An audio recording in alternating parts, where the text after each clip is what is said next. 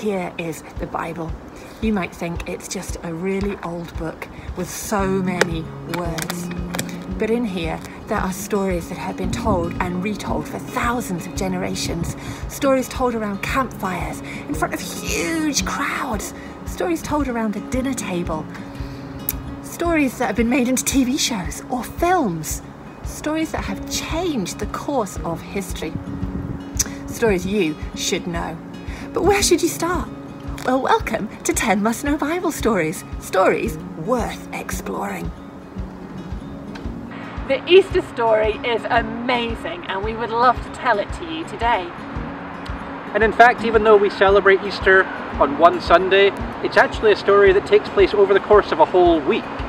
There's so many special things that happen there. Sometimes we call it Holy Week. So let's start at the very beginning. Let's start at Palm Sunday, a week before we celebrate Easter.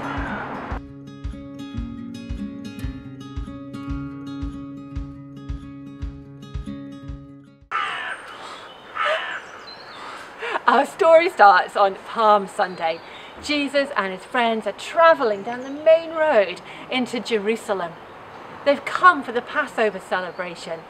Jesus is riding on a donkey and crowds of people hear that Jesus is coming. They've heard about the things that he's done and they want to see him. Yeah, the people are delighted to see Jesus. They want to welcome him like a king, and so they lay down their coats and they lay down their palm branches and they shout, Hosanna! Blessed is he who comes in the name of the Lord. But not everyone was happy. Some didn't like that Jesus was getting all this attention, and so they started to plot. Plot a way to have him arrested, plot a way to get rid of him for good. Here's a craft you can do to remember Palm Sunday. You can use cutouts of palms like this, you'll need two, or just green paper, two pieces, or you can fold it in half. First, draw your palm, which just looks like a big fat leaf on the page. Remember to have two sides to it. Then you cut it all out. Now, back in Jesus' day, in Bible times, they didn't have balloons or banners or open top buses for celebrations. Instead, if they were excited, the people would cut down palm branches and wave them in celebration. That's what they did when Jesus arrived. Now, on your palm branch, you want to cut out little triangles like this so it looks proper. But don't cut all the way, otherwise, you'll cut your palm in half.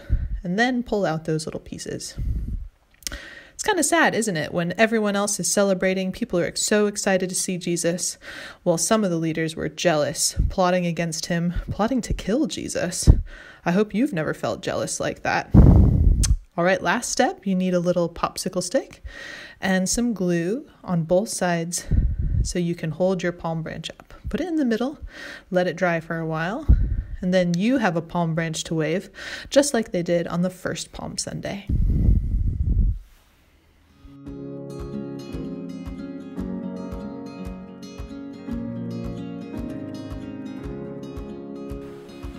On the Thursday of that week, Jesus and his friends celebrated Passover together.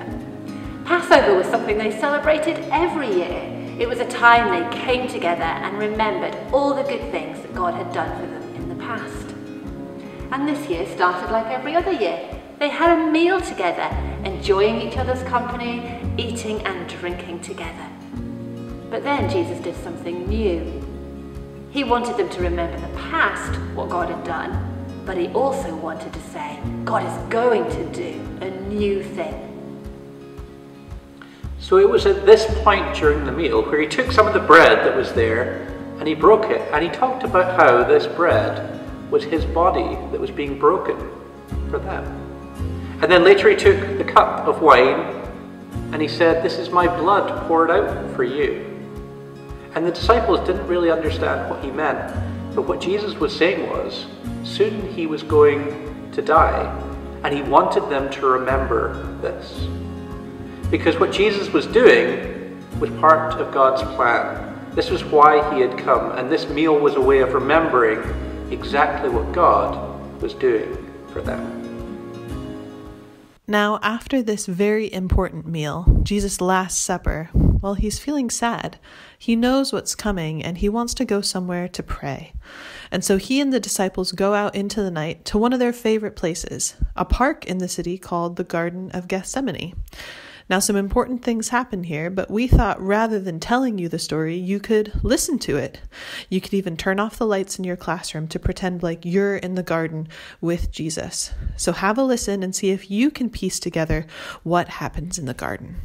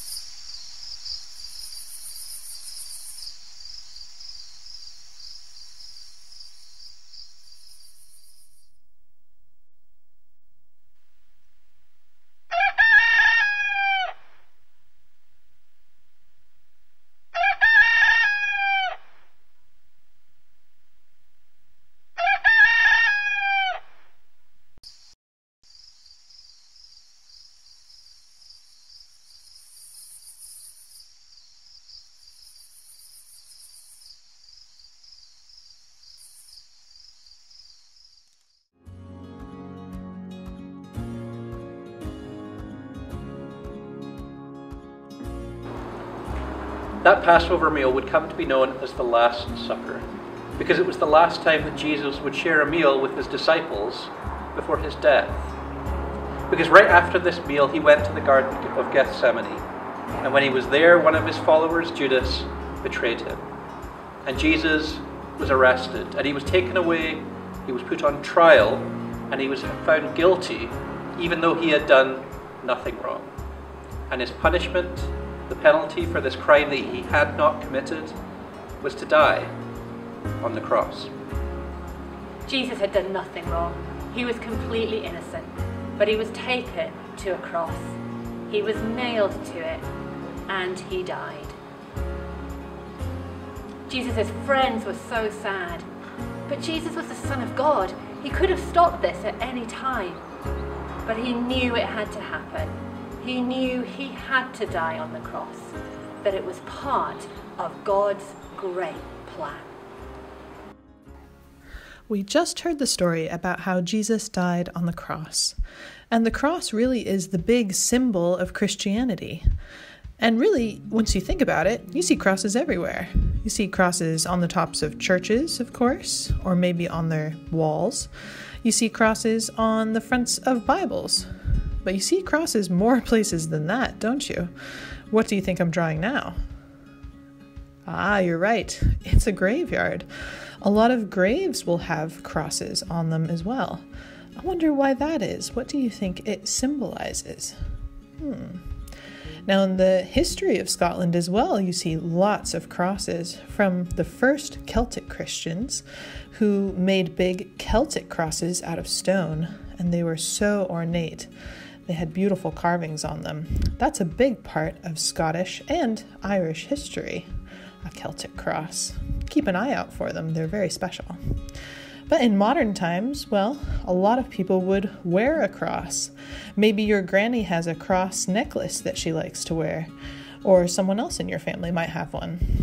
People also might get tattoos of crosses on their arms or on their backs. Isn't that interesting? Hmm, I wonder why someone would do that. Because remember, the cross is where Jesus died. Isn't it a sad thing? Shouldn't we all be really sad that Jesus died rather than putting it on buildings or even on tattoos? Hmm, what do you think? Why is the cross so important to Christians?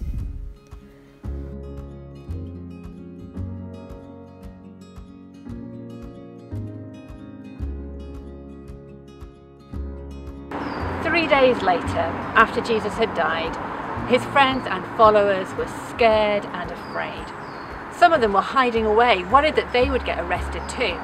But some of them were preparing for Jesus' funeral. Some of the ladies went to Jesus' tomb, the big cave where he'd been buried. They were expecting to find the big stone rolled over the front of it. But when they got there, the stone had been rolled away and Jesus' body had gone. But that is just the beginning of where the amazing things happen because when the women were there, an angel appeared to them and they said, Why are you looking for Jesus here? He's not here, he is alive. He really had died on the cross three days earlier, but he had risen back to life. And not only that, but just a little bit later, these same women saw Jesus in the garden, and others went on to see him too, on the road, by the lake, in an upper room until 500 different people all saw Jesus who had risen back to life. And Jesus explained to them why he had had to do it, why he had had to die and come back to life. He explained to them that this was God's great plan. This was God's plan so that whoever believes in Jesus, believes he is the Son of God, would be able to be God's friends now and forever in heaven. The news spread quickly. Soon all of Jerusalem was talking about Jesus. More and more people heard about it, more and more people saw him with their very own eyes, and more and more people started to believe that Jesus really was God's Son. He had really died and he had really come alive again. And the story doesn't stop there because the good news of Jesus continued to spread.